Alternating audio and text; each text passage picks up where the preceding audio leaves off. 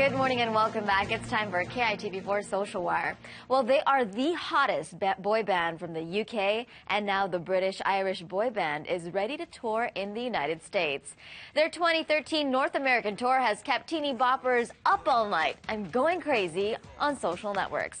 Now, in case you didn't catch that joke, Up All Night is the name of their recent album. Oh, you didn't know that?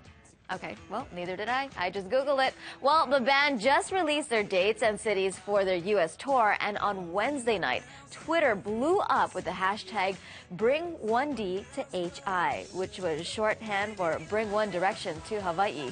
There is a huge social media push from their Hawaii fans to include us in their North American tours. And it's pretty easy to see why these five heartthrobs have got their fans going gaga. Now, hopefully the band saw their tweets and will make their dreams come true. I'm sure there's going to be a really long line at the Blaisdell if that ever happens. That is like it was buzzing on KITV for Social Wire. And, you know, this whole boy band phase, it's, it's coming back again. You know, kind of died down, and now it's all back. Uh, now with all Bieber haircuts, but I guess really so. I, stuff. I'm just watching them thinking, gosh, I feel so old. Why do they look so young? They were born in the 90s, Kay. Oh, Can you believe that? So they're like born in the 90s? teenagers.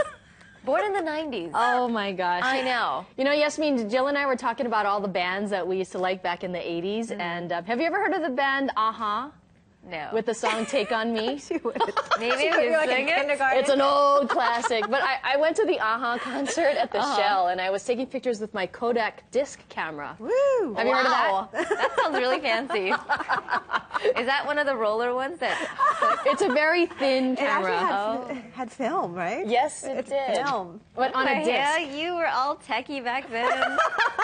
and I brought my pen and pad thinking maybe I could get their signature, even though we were like way in the nosebleeds at the Shell. So. So cute. Ah, the good old Yeah. days. I- I'll Google it and you can look it up. Okay, They're really sounds they have a a really good video on MTV back in the day. I'm sure it's on YouTube right now. yes. That's right. Well, we know that Paul Drews is a huge fan of uh, One Direction. So Oh, yeah, we'll get I to him in just a Oh, minute. yeah. But You You let's could have find stopped out. staring at the screen.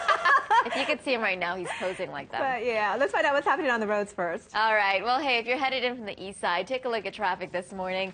It's still looking pretty good headed out from the east. Uh, by the Koko Head overpass, traffic is wide open if you're headed westbound. And of course, into the downtown district, traffic shouldn't be a problem. Coming